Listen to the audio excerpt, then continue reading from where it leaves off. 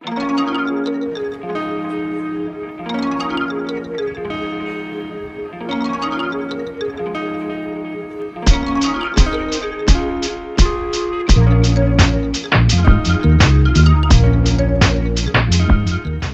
is the place where it all comes together. So to make a piece of art, all of your thinking has to come together. So how am I going to do it? What media am I going to use?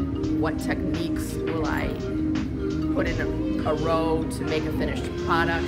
Um, it's all the creative thinking and all that is important in today's world. Even if you're, you know, a dentist later, you're going to think about what do I need to do to make a tooth look a certain way? What processes will I put together? So it's it's a line of thinking that they develop as an artist that will serve really well.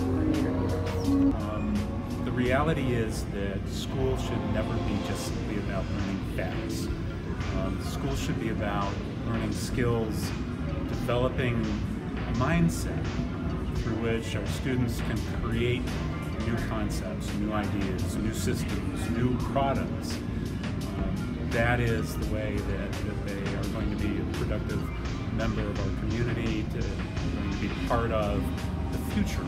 For a lot of these students, um, seeing the art is part of what's going on inside that they don't always share with everybody, their, voices that are coming out. It's so important in mental health, in creativity, and in general problem solving. I can't tell you the number of times I've been stuck with a problem and had to come up with a wild solution to fix it. And it's just, it helps your brain stretch and mold into something that you never could have thought of otherwise. So I think it's just so important and it helps really with your confidence and just it's a really all-around important thing for kids to be able to do.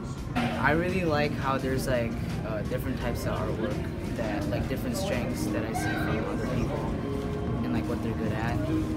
And I also like seeing what that I could I might like want to do when I get into a higher grade.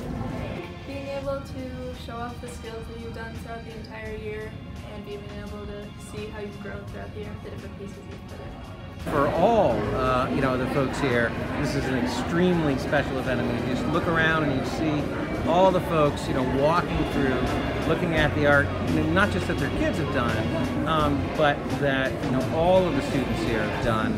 It's really remarkable, and the art itself is just. Uh, I, I'm very, very impressed.